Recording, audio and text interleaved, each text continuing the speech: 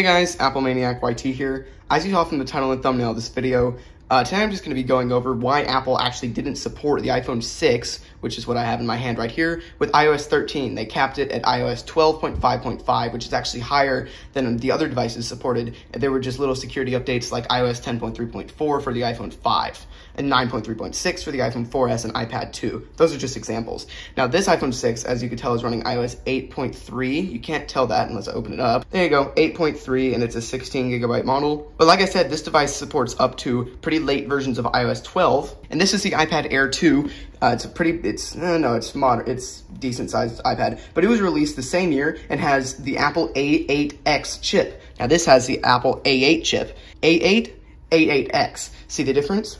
Now, the A8X is much more powerful, and this device actually supported until iOS 15. It's not getting iPad OS 16, unfortunately. But this device was capped at 12, this one was capped at 15, and here's why. Now, the iPhone 6 comes with a pretty low amount of RAM, if I'm being 100% honest. It really wasn't a lot. I believe it was like one and a half or two gigabytes. And then the iPad Air 2, I believe, came with three or four gigabytes of RAM, maybe three and a half. It was a lot more, but I, I didn't really do any research before this video, unfortunately. Bruh. But uh, this iPad had much more RAM and a much more powerful CPU than this iPhone.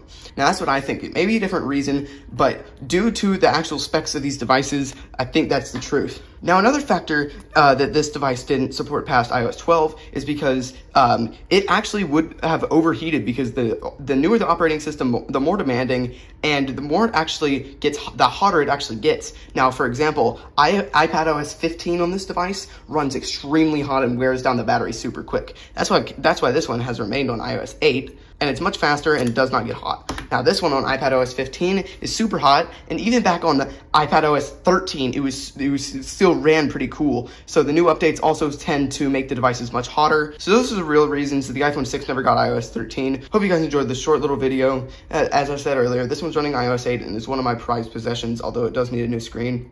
But thank you guys for watching. Comment, like, and subscribe, and as always, peace out, guys.